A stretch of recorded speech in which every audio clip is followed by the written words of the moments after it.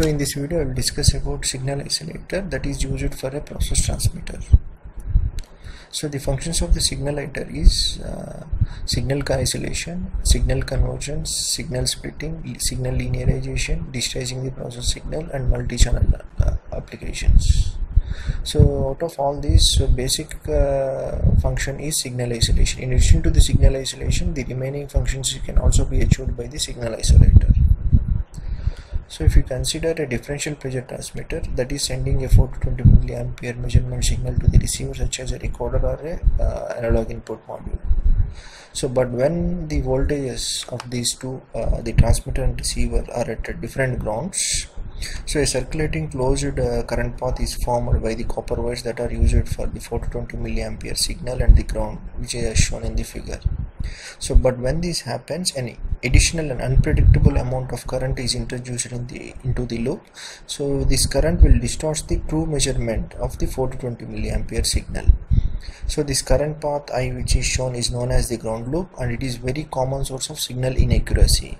So there should be some way to eliminate this ground path so a ground loop forms when three conditions are present. So when there are two different grounds for the transmitter and the receiver the grounds are at different potentials and there is a conductive path between the grounds. The first two points cannot be eliminated and only way to eliminate uh, this ground loop is isolation between the transmitter and the receiver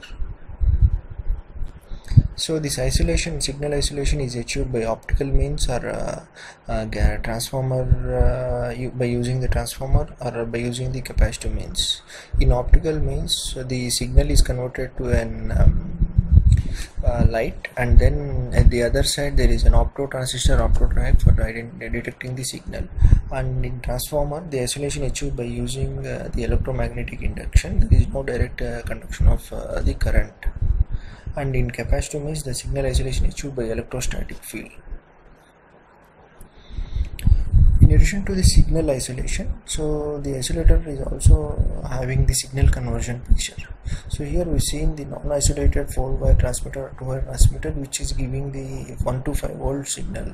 So but whereas the most commonly accepted and um, used uh, signal is 4 to 20 milliampere signal because it is having an advantage so for this purpose the signal isolator in addition to the signal um, isolation it also uh, converts the signal. So here in this example you see 1 to 5 volt signal is converted to 4 to 20 milliamperes so digital signal conversion. So most of the uh, field bus transmitters will have a HART uh, field bus in addition to the 4 to 20 milliampere signal but many PLCs DCS and um, that acts at Modbus RTU so one of the requirement of uh, signal uh, isolator is in addition to signal conversion if it converts uh, the HART signal to Modbus RTU then there is an easy and efficient way to get this HART data into the control system that does not natively accept the HART here if you see the Modbus host but whereas the signal from the transmitter is the HART so this um, signal isolator in addition to signal isolation. It also converts this HART uh, field bus uh, protocol to the uh, modbus protocol. So signal splitter.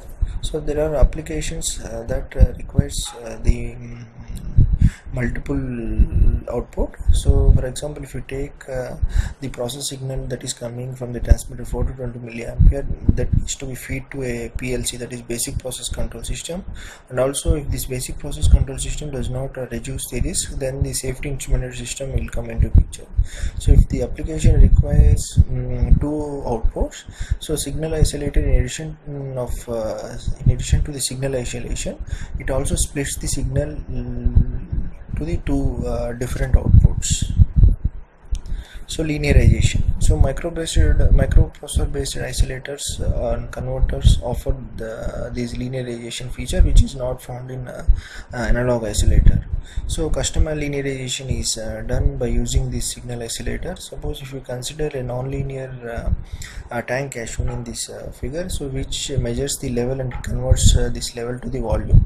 So and before sending this signal to um, the PLC see the signal isolator in addition to the signal isolation it linearizes this nonlinear volume to the linear signal and then transmits to the PLC so multi-channel. If the application uh, requires uh, so multiple uh, signal isolations instead of signal single isolation so these multi-channel isolators can be used. Thank you for watching my video